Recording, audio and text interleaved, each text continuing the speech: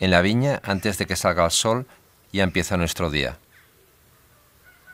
A veces parece que los tiempos aquí son pausados, pero un viñedo bien cuidado requiere de constante atención. Cada día es muy importante.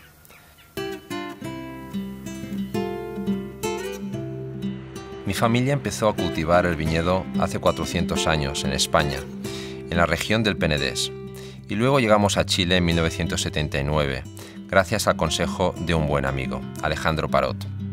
Aquello sí que fue una aventura. Chile para mí es como mi casa. No puedo contar los kilómetros que he recorrido, pero sé que cada uno ha valido la pena. Aquí el paisaje te atrapa. En Chile la viticultura existe desde hace casi 500 años. De aquellos tiempos nació una promesa con la viña, que llega hasta nuestros días. Me viene a la memoria cuando comenzamos a elaborar los primeros vinos con la variedad país. Viñas viejas de 200 años, escondidas y olvidadas, sin un vino que les diera voz con el que se pudieran expresar. Los viñedos eran explotados hasta el agotamiento y los vinos eran mal vendidos para ser mezclados con otros vinos. Pero en la vieja Europa las cepas viejas son un tesoro y creímos que en Chile podíamos poner en valor estos viñedos. Fue un proyecto que nos sobrepasó emocionalmente. La variedad país resucitó. Los productores no lo podían creer.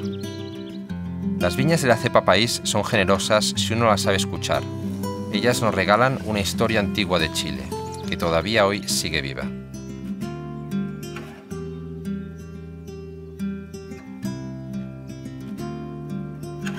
Me gusta mirar atrás y contemplar lo mejor de nuestra historia y nuestras tradiciones y traerlo al presente sin cambiar su esencia. En el Valle del Maule encontramos una viticultura tradicional, donde las parras antiguas han perdurado y donde se ha producido lo que para mí es un milagro, el rescate de la cepa Cariñán. Esta variedad centenaria en Chile tiene una expresión singular en el Maule, que no se da en ningún otro lugar del mundo. Hola Miguel, ¿cómo estás? ¿Cómo has estado? ¿Eh? Muy bien. Muy bien. Mira, Oye, estamos en la cosecha tenemos por aquí. Ya estáis vendimiando, ¿eh? Sí, sí. Mira esta planta. Debe tener Oye, más de 100 años. ¿eh? 100, 150 años, impresionante. Mira la carga perfecta. Está súper bien. Cariñán viejo, ¿eh? Cariñán viejo, sí. Probémosla. Ah, buena, tiene, tiene piel, tiene tensión allá. Muy buena.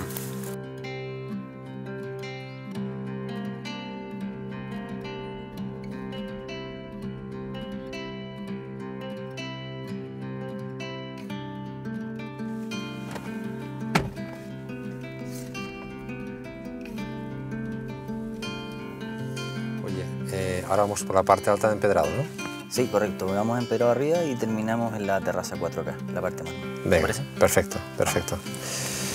Vamos. Durante estos años hemos tenido grandes desafíos, como proponernos encontrar suelos de piedra laja o pizarra como los del Priorat. Empedrado es un lugar único en el mundo. Fue una apuesta ambiciosa, pero históricamente los grandes vinos nacen de las dificultades. Escaleras de Empedrado es para mí un vino de viticultura heroica, donde la naturaleza recompensa a aquellos que se aventuran a buscar sus límites. El terruño no existe sin el que lo cuida. Por ello, el trabajo de las personas es la base de nuestra filosofía y nuestra forma de entender la vida. Bajo el marco del comercio justo, buscamos una estrecha colaboración junto a los viticultores, una relación que va más allá del trabajo y que es finalmente un proyecto de vida común, una forma de entender juntos el viñedo. Manso de Velasco es un superviviente, un viñedo que escapó de la revolución agrícola en la que los viñedos viejos fueron arrancados y sustituidos por otros más nuevos, productivos y mecanizados. En este lugar posiblemente se encuentra la viña con parras de Cabernet Sauvignon más viejas del mundo, más de 130 años. Manso de Velasco es más que un viñedo. Es un santuario donde los seres vivos que lo forman conviven en armonía. Los viejos troncos huecos son lugar para nidos de pájaros que nos protegen de plagas de insectos y mantienen el equilibrio de este ecosistema.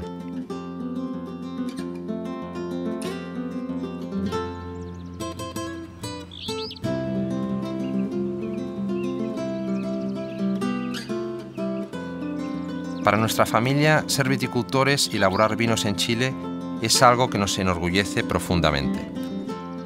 Sentimos que somos parte de esta tierra y creemos que nuestra misión, por encima de todo, es proteger estos paisajes y sus viñedos.